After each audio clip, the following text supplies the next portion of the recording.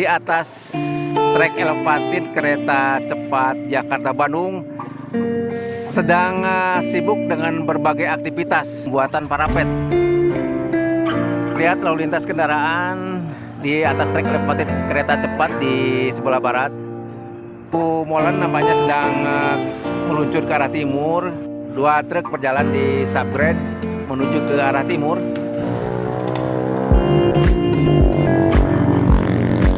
Terlihat di sebelah timur uh, gedung berwarna putih itu adalah uh, gedung yang berada di area uh, stasiun kereta cepat.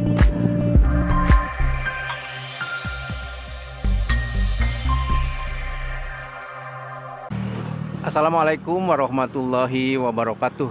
Sahabat Jumpa lagi dengan saya Fauzi Tea di channel Kang Tamim. Semoga sahabat semua dalam keadaan sehat walafiat.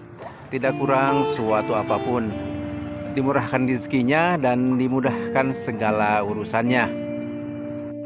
Pada hari ini, hari Selasa, 14 Juni 2022 sekitar jam 11.50 saya kembali berada di jembatan Tegaluar.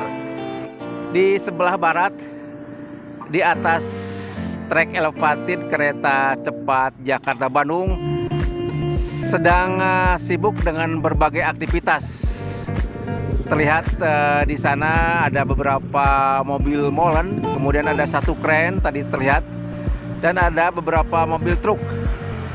Jadi memang pasca tersambungnya trek elevated kereta cepat ini dengan subgrade. Nah, ini subgrade yang menuju ke arah stasiun kereta cepat Tegaluar. Pembangunan terus dikebut di atas trek elevated kereta cepat khususnya. Pekerjaan yang sedang dilakukan di atas uh, trek elevated kereta cepat adalah pembuatan parapet atau dinding pembatas di antara dua uh, trek elevated. Untuk keren uh, sudah meluncur ke arah timur nampaknya membalik ke markasnya di Depo Tegaluar.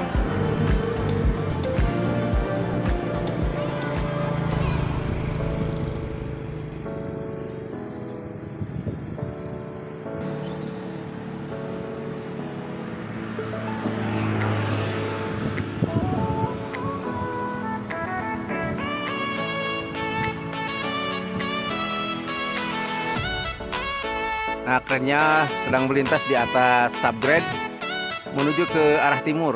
Terlihat lalu lintas kendaraan di atas trek kereta cepat di sebelah barat. Ada dua kendaraan yang menuju ke arah timur, ada satu truk dan satu mobil pick up namanya. Kemudian juga para karyawan mulai kembali untuk istirahat.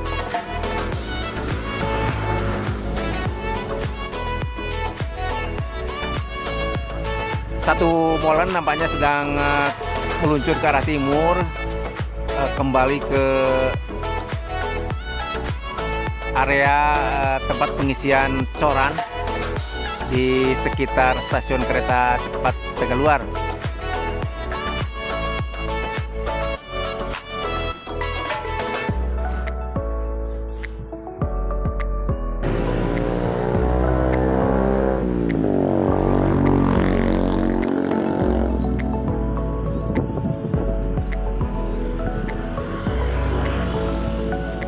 Dua truk berjalan di subgrade menuju ke arah timur.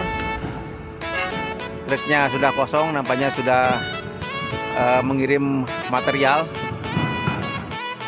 Selain di atas trek elevated kereta cepat, kesibukan juga uh, sedang berlangsung di area depo dan stasiun kereta cepat Tegaluar.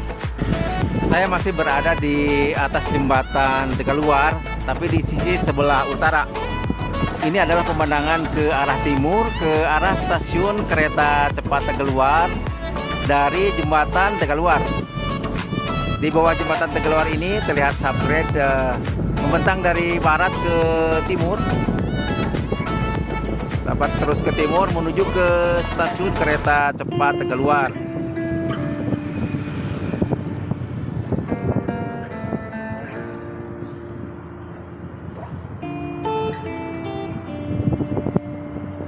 Terlihat di sebelah timur uh, gedung berwarna putih itu adalah uh, gedung yang berada di area uh, stasiun kereta cepat di Depo Tegaluar sedang dilakukan pengelasan rel yang sudah terpasang di antara depo dan stasiun kereta cepat Tegaluar.